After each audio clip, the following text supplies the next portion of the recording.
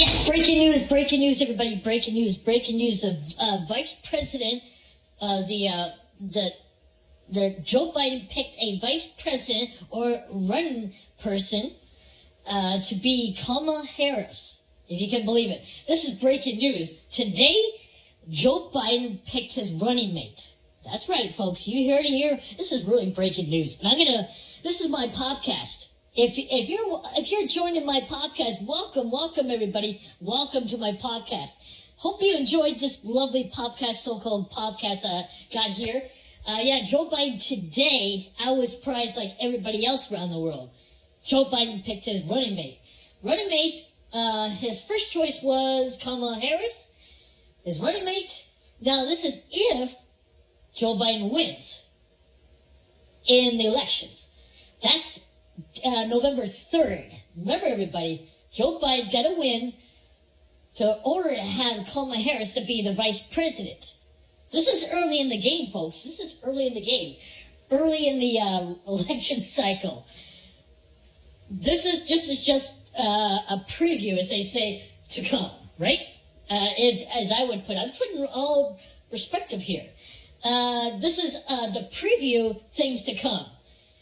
Kamala Harris is going to be the running mate for Joe Biden. And Joe Biden's running mate is Kamala Harris. Do you follow me? Kind of thing. Um, but anyway, yes. Today is the day that Joe Biden does pick a running mate, and I'm so happy. I'm so delighted. Uh, I could say no about it, but I'm not.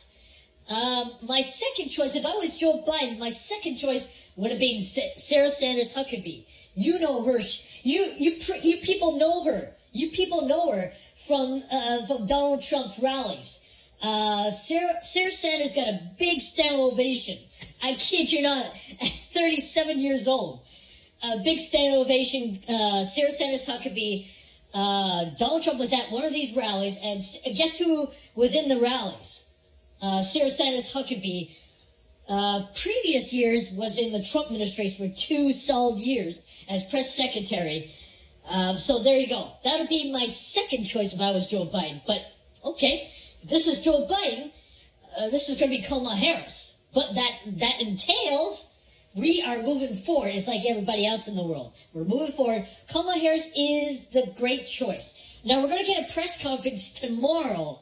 Sometime tomorrow. We don't know officially what time, but we knew it's tomorrow. So tomorrow, Joe Biden and Kamala Harris is going to be doing a press conference, a live event. Yes, live event tomorrow. We don't know the actual time. I'm assuming it's sometime in the afternoon. Sometime in the afternoon. I'm not going to tell you what time in the afternoon because you people will probably listen to what I'm going to say. But anyway, sometime in the afternoon, they'll do the press conference. Until then, we'll get the whole entire thing and we'll record it, entire thing. And yes, Kamala Harris is the running mate for Joe Biden. Uh, don't be sad for other women out there. I think Kamala Harris is a great candidacy for the vice president uh, to be with Joe Biden. If Joe, now this is a big if for everybody out there, the American people, this is a big if. That Joe Biden wins the uh, presidency, we're going to see what's happening. Anyway, nonetheless, I will put that here on the title. This is my podcast tonight about Kamala Harris and Joe Biden. I'll put their names right on here. So there you go.